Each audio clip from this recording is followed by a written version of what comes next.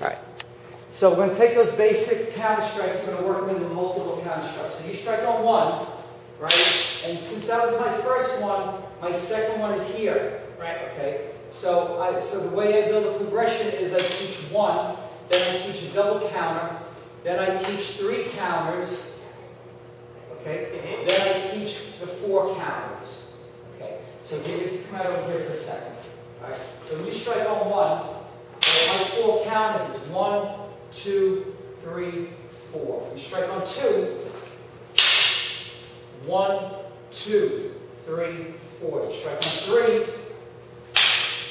one, two, three, four. Strike on four, one, two, three, four. Notice I'm always trying to control the wrist, Yeah. right? Okay, strike on five, one, two, three, four. Strike on six, one, two, three, four. Strike on seven.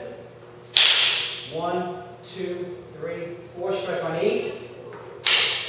One, two, three, four, Strike on nine.